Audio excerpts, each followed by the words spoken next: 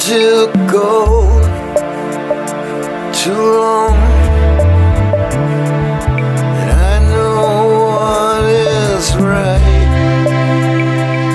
is wrong.